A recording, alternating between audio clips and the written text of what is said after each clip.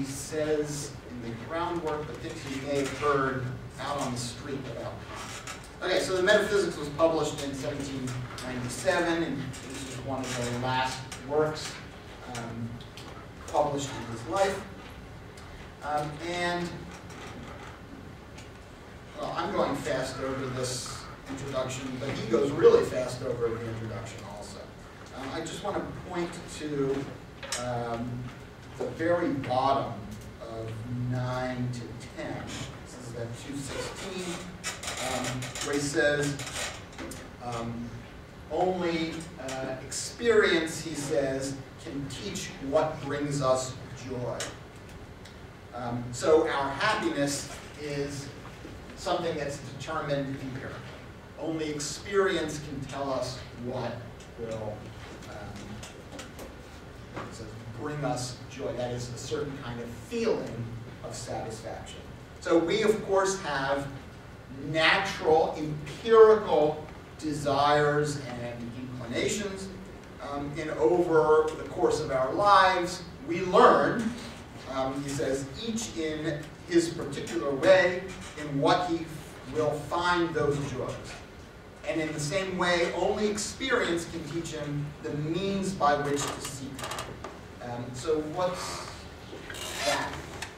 It's only experience can teach us the means by which to seek our joy, the satisfaction of the desires. So this is, so express that last point in language from. Only experience can teach him the means by which to seek that, our satisfaction.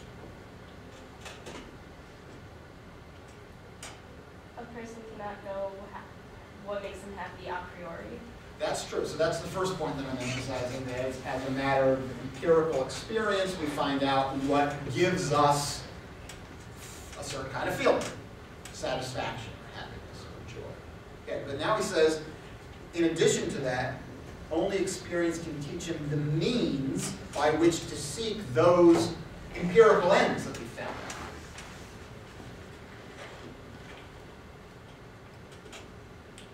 that we found. Only experience can identify the means by which to seek those empirical ends. What's he talking about? See, only through experience can one know the categorical imperative. Close not the categorical imperative. Hypothetical imperatives. Right, hypothetical imperatives are going to tell us this is what results in that. And so empirically we identify over the course of our lifetime what uh, ends give us joy, which ends are empirically satisfying to us. And also over time, we identify the causal pathways to bring those about. The point is there's no way to tell a priori what is going to cause what. Right? That's, that's what science investigates. That's what empirical science. Hypothetical imperatives, the means by which certain objects are brought about. Isn't that a really strong ontological thing with happiness though? You're saying happiness can only be experienced through something else?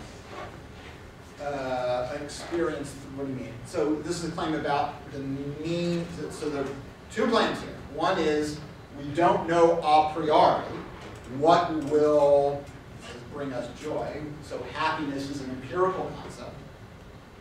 And then the second claim is that hypothetical imperatives are empirical. So sorry, I, I missed what. I have concept of happiness. The concept of happiness. Okay, so Kant is definitely thinking of the concept of happiness as being empirical, as being tied to the inclinations that we, as it were, happen to have phenomenal beings. So happiness is tied to um, the experiences that we have as embodied beings that, is that the part that you're unhappy with? I, I disagree what he thinks happens is how it's. Okay, so, so say, say better. So say, say better what you think it, it is. I mean, we might not be able to So resolve. he's talking about happiness as the result achieving end that he considers to be good, whereas happiness for Kant is an end in itself. Um, Right. Uh, Maybe I'll put the point a slightly different way. Um, Not all uh, achievements of, not all feelings of satisfaction, not all achievements of the ends that we have are objectively good for Kant. That's absolutely right. That, that's the part that you're objecting to. I'm projecting that happiness is the result of achieving goals. He's saying there's more to happiness than just getting done what you were trying to achieve. Yeah. Okay, well, so for Kant, for sure, there's more to doing what we should do than achieving the things we happen to think. And so this sounds, sounds to me like a sort of verbal dispute about whether the label happiness should be confined to our empirical desires or maybe like the proper ends that we will. Because for sure, Kant thinks that there's, there are more proper ends that we should will than what he's calling happiness. And maybe you want an expanded understanding of happiness to include those as well. Okay. Um, okay, so, and, and that's just the next point that Kant's making. Um, that although happiness and the means to our happiness are empirical concepts, morality ain't. Morality is um, binding, necessarily binding, and applies to everyone a priori. Um, and therefore, he says on page 10, um, so, sorry, so, I mean, we, for Kant, it's, it has to be a priori because it applies to people with necessity. That it's a requirement, as we understand morality, it's a requirement that people act as it says. Um, it's not contingent on any kind of empirical determination. This is what he's saying on page 10. Um, it's very different with the teachings of morality. They command for everyone without taking into account his inclinations, merely because and insofar as he is free and has practical reason. Um, reason commands how men are to act, even though no example of this might be found. And it takes no account of the advantages we can thereby gain, um, and which experience, only experience could teach us. Okay, now what I want to emphasize about all this is that, as I said with the groundwork, this concerns the justification of maybe the supreme principle of morality. This concerns the basis on which morality rests.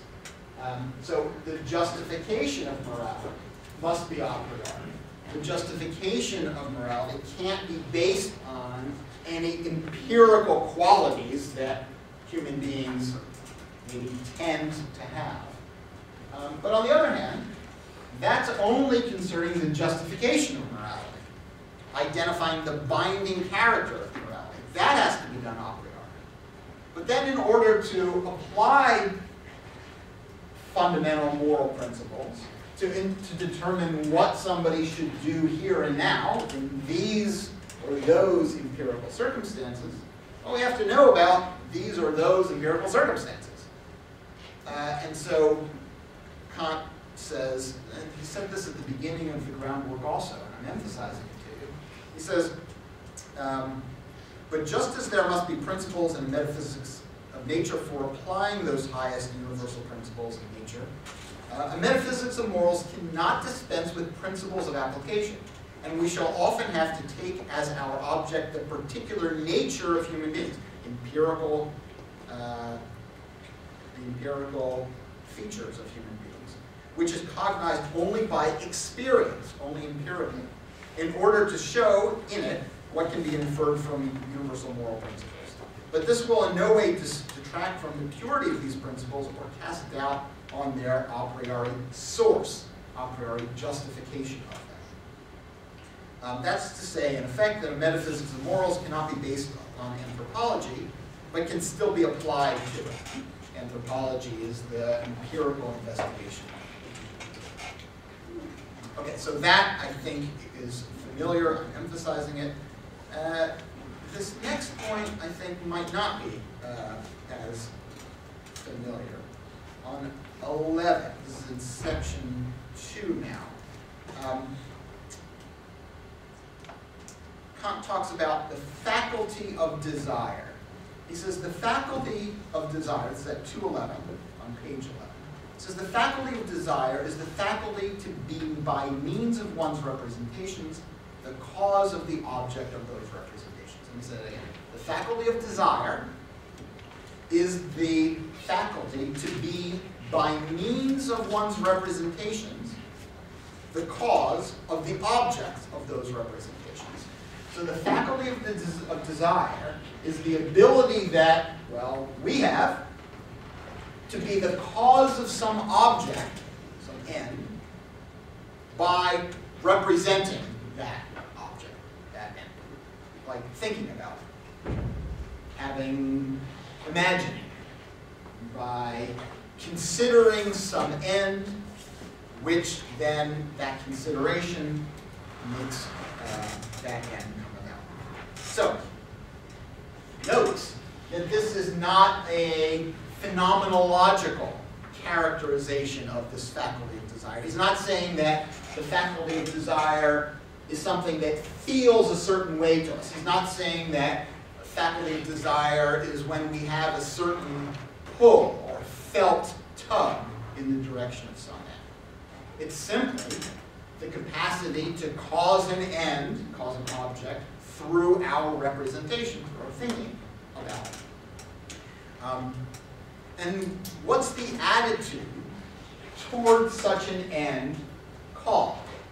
So the faculty of desire uh, is the ability to become the cause of some object through a certain kind of representation of that object.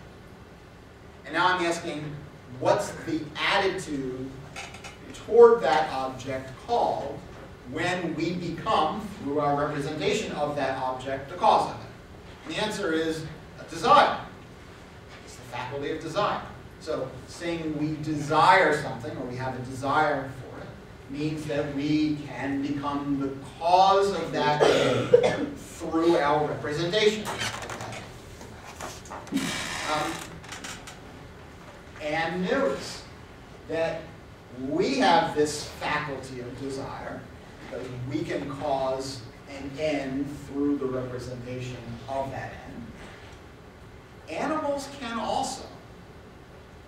Animals have desires too. That is, mere animals have desires too. They can, through the representation of some end, become the cause of that end. Well, uh, for Kant, this suggests that um, there's going to be an important difference. For Kant, there's an important difference between human beings and mere animals. Um, and so this suggests that there are maybe different kinds of desires. Certain kinds of desires that uh, maybe we share with animals, but also other kinds of desires that we have that mere animals don't. Um, look, let me, let me make this as clear as I can. The implication of this is that whenever we will an end, Kant would say we have a desire for that end. Now, while desires, as I just described them, are not phenomenological, they're not characterized through their empirical uh, features for us. For Kant, pleasure and displeasure are. These are feelings and therefore they are empirical. Um, so whenever we have